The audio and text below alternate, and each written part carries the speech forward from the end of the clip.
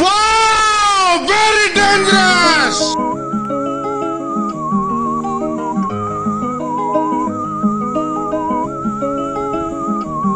रहना पड़ेगा मेरे आगे, क्योंकि मैं अपने में खुद हीरे हीरो हूँ तो झुक रहना पड़ेगा, अगर झुक रहेगा तो ठीक है, नहीं तो उसके इतने झूठ पड़ेंगे मुँह पर, अगर उसने मेरे सामने स्टार बनने की कोशिश